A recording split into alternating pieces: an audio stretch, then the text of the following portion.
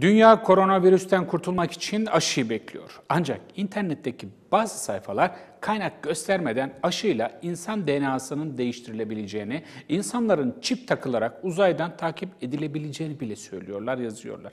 Yayılan komplo teorileri ve yanlış bilgiler insanların aşıyı reddetmesine yol açıyor nihayetinde. Ay sonunda uygulanması planlanan aşı toplumu şu anda ikiye böldü. Kimi aşı şart derken kimi de kararsız olduğunu söylüyor. Doktorlarsa pandemiden kurtulmanın en iyi yolunun aşı olduğunu söylüyor.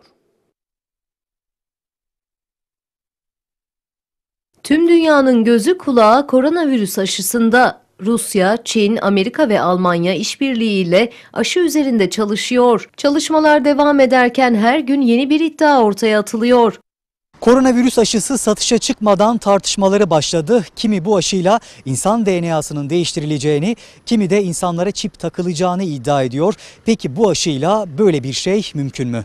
Bu iddialar e, tam tabiriyle biraz komik.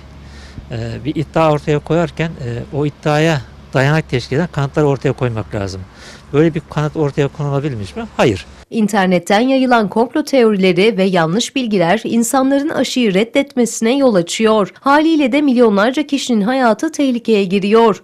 Ne düşünüyorsunuz? Aşı gelirse yaptırır mısınız? Yaptırırım, Güveniyor musunuz aşılara? güveniyorum. Şu anda bir belirsizlik var. Ben de o konuda e, şu anda net olarak evet veya hayır diye bir şey söyleyemem. Sağlık Bakanı Doktor Fahrettin Koca, Çin aşılarının Aralık ayı sonunda sağlık çalışanlarına uygulanacağını açıkladı. Açıklama sonrası aşıların ne kadar etkili olacağı tartışılmaya başlandı.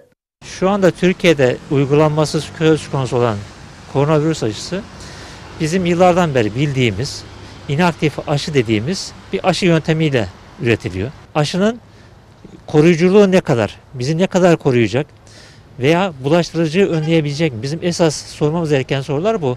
Bu da yüz binlerce, milyonlarca insanlara uygulandıktan sonra görülebilecek bir şey. En kötü ihtimalle aşı etki etmez. Ya yoksa aşının bize vereceği bir zarar yok. Antalya Aile Hekimleri Derneği Başkanı Doktor Orhan Tekin, pandemiden kurtulmanın tek yolunun aşılama olduğunu belirtiyor. Vatandaş aşıyı bekliyor. Yani sabırsızlıkla gelip bize aşı geldi mi diye soruyorlar. Halkın ümit ışığı aşıda. Bu pandemi büyüklüğündeki salgın hastalıkların tek çözüm yöntemi aşıdır.